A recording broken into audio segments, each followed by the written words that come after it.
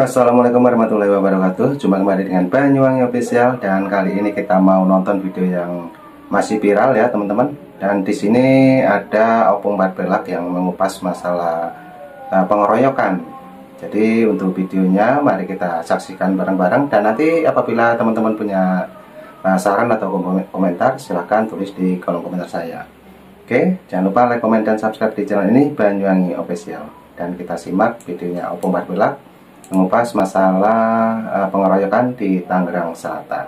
Let's go, untuk videonya kita lihat dulu.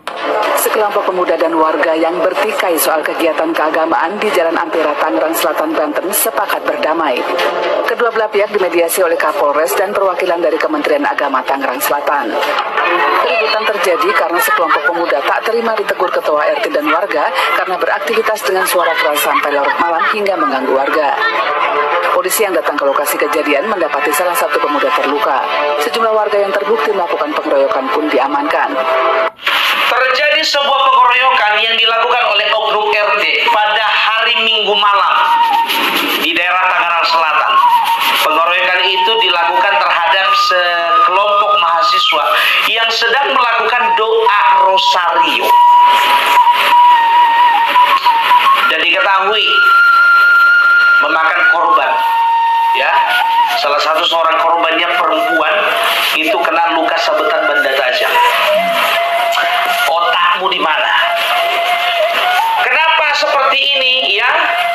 seorang aparat pemerintah walaupun terkecil itu bisa rasis seperti ini. Kau kan RT eh Diding. Namaku namamu Diding kan? Nama RT ini namanya si Diding ya? Kau kenapa menjadi penghasut kau? Harusnya kau itu bisa mengayomi masyarakat. Apa pun yang terjadi di tengah-tengah masyarakat itu tanggung jawabmu. Bukan jadi kau yang menyulut api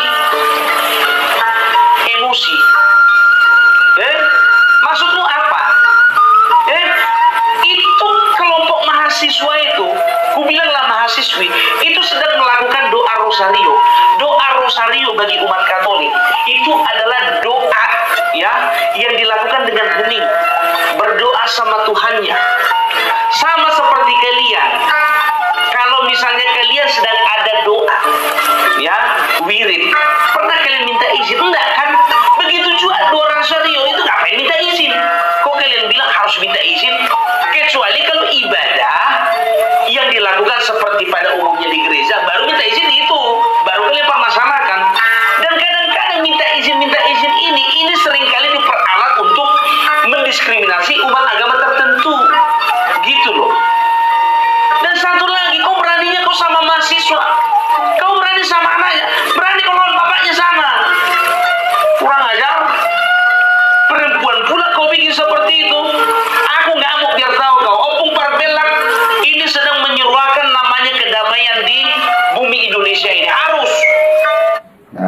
Nah, itu teman-teman ya.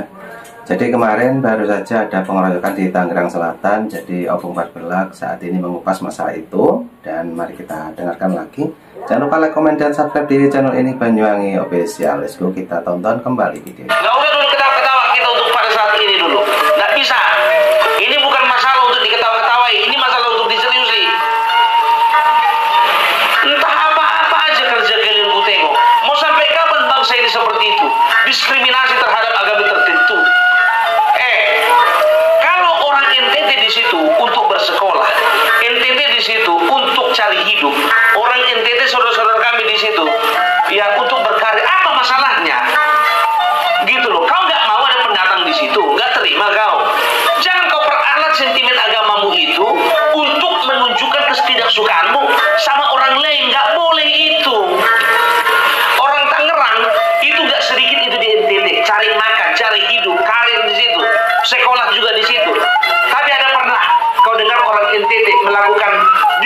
diskriminasi terhadap orang-orang yang yang berasal dari Tangerang? Nggak pernah kan?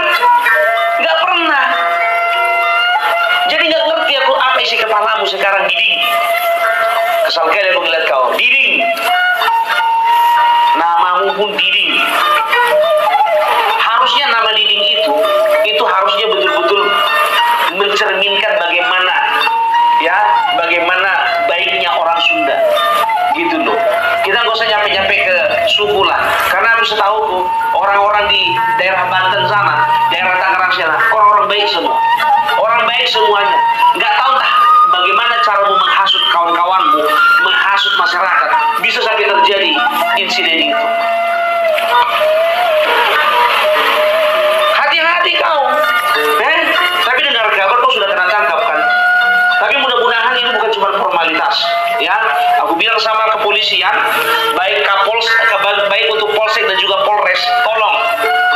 Proses itu.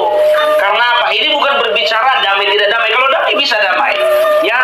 Tapi hak seperti ini harus diproses secara hukum. Karena apa? Karena kalau cuma damai aja, ini akan berlangsung lagi, akan terulang lagi, terulang lagi, terulang lagi. Gitu. Opung Parbelak tidak akan menerima apa yang namanya diskriminasi. Bullying itu gak akan pernah terima. Ya. Kalau misalnya ada orang yang lain beragama daripada agamaku, ya, beribadah contohnya, dan diganggu sama oknum-oknum yang seagama denganku, aku juga tetap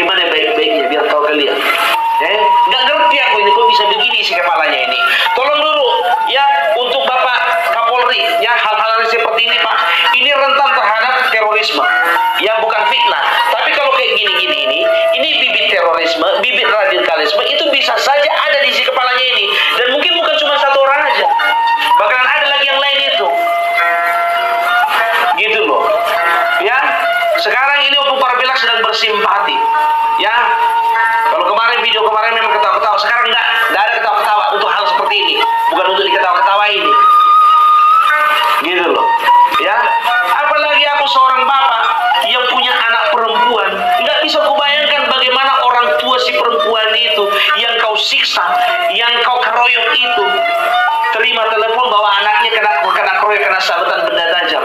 Nggak bisa kubayangkan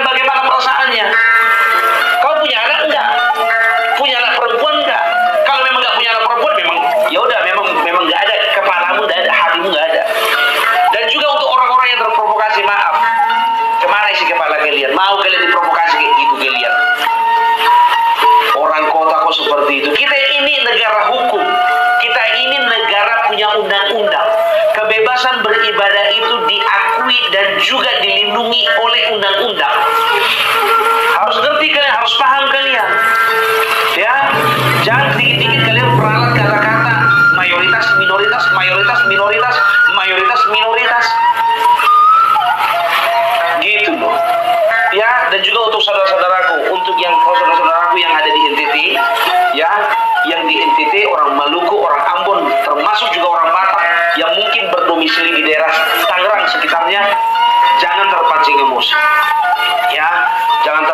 emosi, jangan terpancing untuk berbuat anarkis. Tahan, tahan emosi tahu. Kalau orang-orang TV kayak kita ini memang, wow, jangankan kita 100 lawan 100, satu lawan 100 pun siap. Tapi bukan ke situ larinya. Ya, kita ini, aku tahu orang-orang NTT, orang-orang timur semua itu orang-orang bermartabat, orang punya harga diri. Ya, Nah itu teman-teman ya Jadi kali ini Opung Barbelak mengupload video yang lagi serius teman-teman Jadi inilah kejelasannya dari Opung Barbelak mengenai pengeroyokan kemarin Nah itu kita simak lagi videonya makanya pantang diganggu selama tidak mengganggu. Itu itu itu prinsipnya memang. Ya, tapi gimana pun ceritanya, kami akan tetap serahkan sama kita percayakan ke kawan-kawan sama eh, pihak kepolisian ya supaya apa? Supaya ini diproses. Karena apa? Supaya jangan ada lagi tindakan-tindakan seperti ini terulang lagi. Contohnya misalnya di daerah kami Sumatera Utara di kampung contohnya di Porsea ya. Kalau misalnya ada ya umat muslim diganggu oleh mayoritas ya orang Kristen di sana proses juga. Masukkan ke penjara. Nggak peduli. Jadi nggak ada masalah mayoritas minoritas di sini kita sama rata. Sama rata kita sama-sama bangsa Indonesia. Sama-sama. Anaknya ibu pertiwi. Hal-hal kayak gini nggak boleh. Nggak boleh terjadi. Jangan sampai terjadi lagi. Ya itu kemarin itu Maun Hercules itu sudah akan bicara itu. Ya saya sendiri beragama muslim. Beliau itu mualaf. Ya mereka kata dia beliau katakan apa?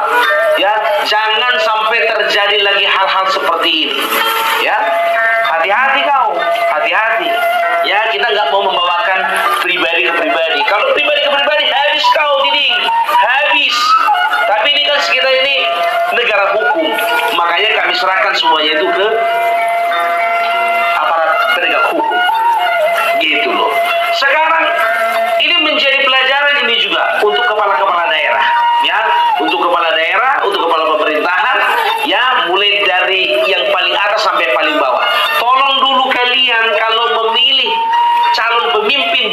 RT RW kepala desa pastikan dulu bukan orang yang terafiliasi dengan kelompok-kelompok radikal. Kalau kayak gini aku yakin nih ini pasti terafiliasi. Ya yakin yakin aja. Gak bicara tentang keyakinan karena aku nggak bilang dia terafiliasi enggak sepertinya gitu loh. Karena apa? Bibit-bibit radikalisme itu udah kelihatan gitu. Kalaupun ada masalah terganggu kan bisa dibicarakan baik-baik. Nggak perlu senjata tajam berbicara nggak perlu. Bagus-bagus selesaikan dulu. Biarkan dulu mereka selesaikan doanya dulu. Gitu loh. Karena ini doa bukannya ibadah. Seperti biasa hari minggu yang dilakukan pada umumnya di gereja kan? Itu loh. Ya jadi aku yakin bukan cuma Oppo Parbelak saja dan yang tidak setuju dengan hal-hal ini. Umat muslim yang di mana pun juga itu tidak dengan anarkis seperti ini. Karena ini sudah tindakan pidana pengeroyokan penganiayaan persekusi. Ya nggak bisa nggak bisa lepas kau. Nggak bisa lepas. Ya karena apalagi kau sudah menggunakan senjata tajam nggak bisa. Nggak bisa. Ya nggak kau ya kelompokmu yang lain gitu lah kawan-kawanmu gitu. Dibilang nggak sengaja nggak mungkin lah nggak sengaja senjata tajam. Eh nggak dibawa itu rupanya. Ah, bagus-bagus saja lah sekali-sekali kau main dulu kau ke siantar sini. Kau biar kau tengok dulu bagaimana kami bergandengan tangan di sini. Gitu loh main dulu kau ke Solo. Biar kau tengok dulu bagaimana bergandengan tangan umat beragama dan suku-suku yang ada di Solo. Main dulu kau ke Surabaya kau. Nampak kali mainmu kurang jauh. Lahir kau di situ kau. Besar di situ sekolah di situ. Eh, cari makan di situ. Jadi gak terbiasa kau bergaul dengan orang yang agamanya berbeda samamu orang yang sukunya berbeda samamu itu aja kecil kata dalam kurung kau. Kau lah dulu khususnya aku bilang sama kau. Karena kau provokatornya satu. Eh biar tahu ya aku mau cerita dulu sama kalian. Sirimpuan Padang Sirimpuan itu mayoritas Islam mayoritas Muslim. Tapi kemarin kami touring kami satu minggu keliling Sumatera Utara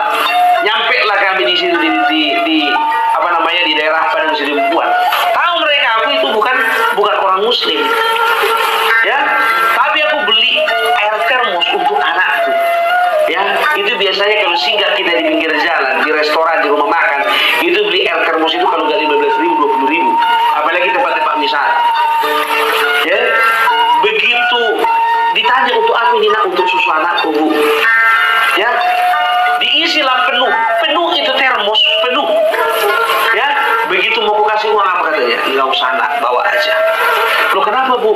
biarlah Allah yang membalaskannya ya kebaikanku itu pasti ada buahnya di masa yang akan datang Nah, Oke teman-teman jadi itulah eh, saran-saran dari Opung Barbelak teman-teman ya.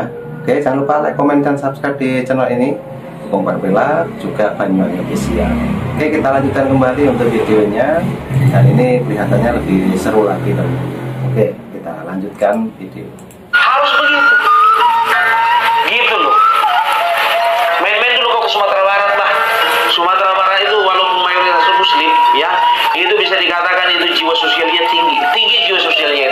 kupuji Sumatera Barat. Memulai daerah Bukit Tinggi Payakumbu Painan sana eh? Semua daerah itu bagus. Kalau ku bilang karakternya bagus karakternya terpuji. Satu minggu kami di sana tiga kali aku minta air termos tiga kali ya untuk susu anakku karena aku traveling itu biasa bawa anak-anak. Tiga kali mereka itu tolak uang dariku bayangkan kau mau nangis aku ini terharu muslim mereka tahu aku bukan orang Minang gitu loh. Tapi rasa kemanusiaan itu yang berbicara kuat di dalam hati mereka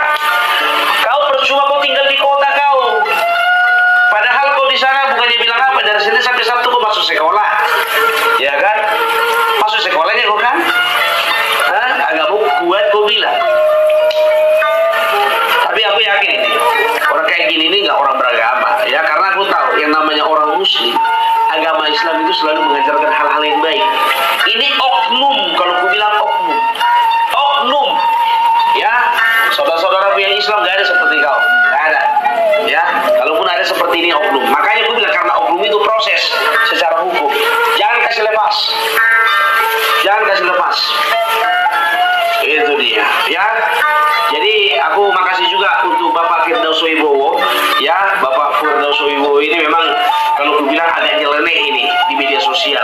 Tapi kalau untuk saat ini makin sekarang makin ke sini aku tengok memang jiwa sosialmu kelihatan gitu loh. Mantap ya. Jadi karena desakan dari Bapak Firdaus Wibowo ini ya itu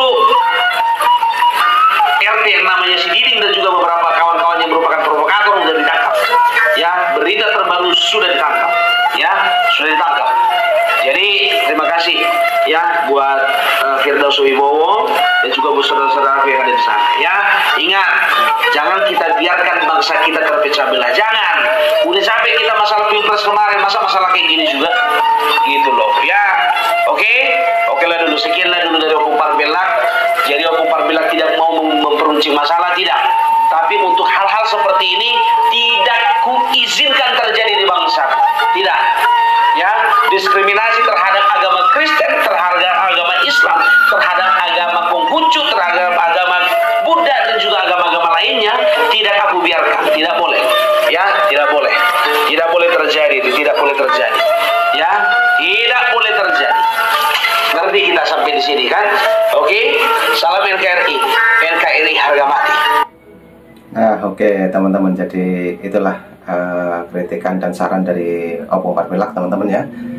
Dan bagi teman-teman yang belum berkunjung ataupun melihat channelnya Opung Parpilak, silahkan ketik saja Opung Parpilak dan jangan lupa dukung terus Banyuwangi Official dan jangan lupa juga untuk like, komen, dan subscribe-nya. Oke teman-teman, jadi cukup itu dulu yang kita tonton. Itulah uh, kejadian kemarin ya malam minggu di Tangerang Selatan. Oke, sampai jumpa nanti di video selanjutnya. Banyak official mengucapkan terima kasih semuanya dan sampai jumpa. Assalamualaikum warahmatullahi wabarakatuh. Thank you. Bye bye.